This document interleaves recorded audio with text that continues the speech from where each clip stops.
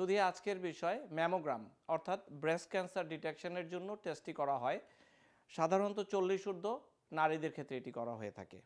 এটি নিয়ে একটি ভীতি কাজ করে। তো আসুন আজকে জেনে নিই, এটি কেন করা হয়, কখন করা হয়, কতদিন পর্যন্ত করা হতে পারে, শুধু এইটুকু জানার জন্যই। আসুন জেনে নিই।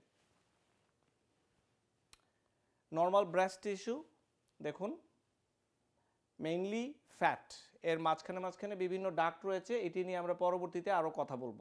বেসিক্যালি এইটুকু জানা থাকা উচিত যে কীভাবে কানেক্টেড ব্রেস্ট বিভিন্ন অংশে, শরীরের সাথে। ব্রেস্ট ক্যান্সার কীরকম দেখাচ্ছে? এইটি দেখাচ্ছি ছবির মাধ্যমে। এটি নর্মাল ব্রেস্ট এখানে ক্যান্সার দানা বাঁধছে। কীভাবে করা হয়? এটি জেনে নিই। ছোট্ট একটি মেশিন ভয়ের কিছু আমি মনে করি না। নিচে একটি পাটাতন রয়েছে, উপর একটি প্লাস্টিকের মতো।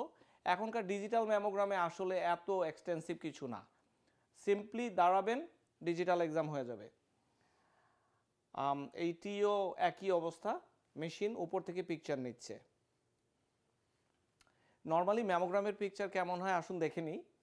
এইটি নর্মাল ব্রেস্ট টিস্যু কিছুটা ভাষা ভাষা। এইখানে দেখুন, এই জায়গাটিতে বাসা বাঁধছে। ক্যান্সারের বীজ।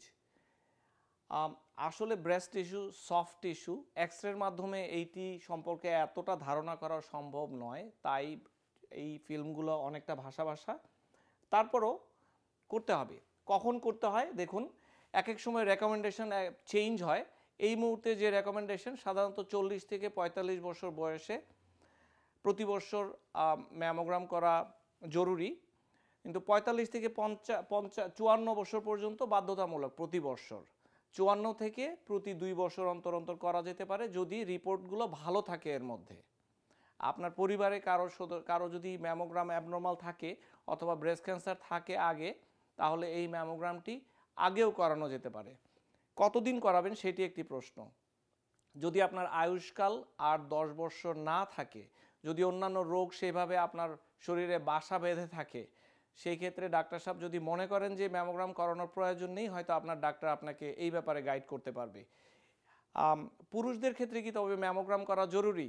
জি, পুরুষদের ক্ষেত্রেও কিছু কিছু ক্ষেত্রে ম্যামোগ্রামের প্রয়োজন হয়, সেটি আপনি আপনার ডাক্তারের সাথে যোগাযোগ করে জিজ্ঞাসা করতে পারেন। স্পেসিফিক কিছু ক্ষেত্রে অনেক সময় প্রয়োজন হয়। তারপরও আপনার যদি কোনো প্রশ্ন থাকে, আমার সাথে যোগাযোগ করতে পারেন ইমেলের মাধ্যমে, আমাদের website address W W W dot doctor Ferdous dot com টেলিমেডিসিনের মাধ্যমে আমাদের সাথে যোগাযোগ রাখতে পারেন। আমাদের সাথে থাকার জন্য অসংখ্য ধন্যবাদ। আমাদের চ্যানেলটি সাবস্ক্রাইব করুন।